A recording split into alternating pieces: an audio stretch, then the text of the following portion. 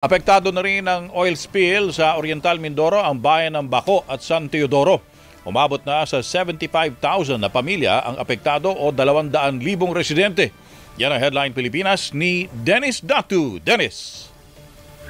Yes, Attorney, inanunsyo ngayong umaga ni Oriental Mindoro Governor Milito Dulor na tinamaan na rin ng oil spill ang mga bayan ng Baco at San Teodoro na kalapit lamang ng Calapan City na una ng ring tinamaan ng oil spill. Ang mga bahay ng Baco at San Isidoro ay nakaharap sa Verde Island Passage.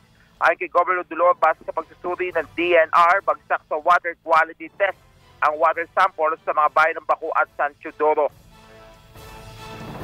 Yun pong mga areas na marine protected uh, areas natin sa Baco at San Teodoro, meron na din po sa uh, presence of grease and oil beyond the standard.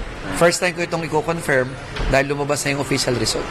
Saan particularly, sir? Wala sa shoreline pero nasa dagat. Dagat pa. So, ang ibig sabihin, hindi na safe maligo at hindi na rin siya safe pangisdaan for now.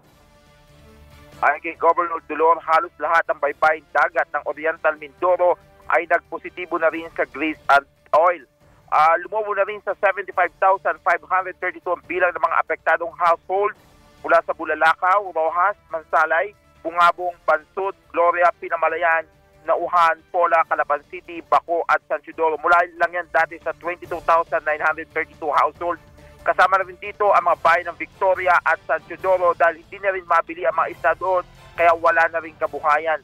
Humingi na ng dagdag na lokasyon ang, uh, ng food pack sa DSWD si Governor Dolor at hiniling na rin ng Gobernador sa Bureau of Fisheries and Aquatic Resources na maghanap na ng mga alternatibong lugar na pwedeng pangisdaan sa labas ng Oriental Mindoro.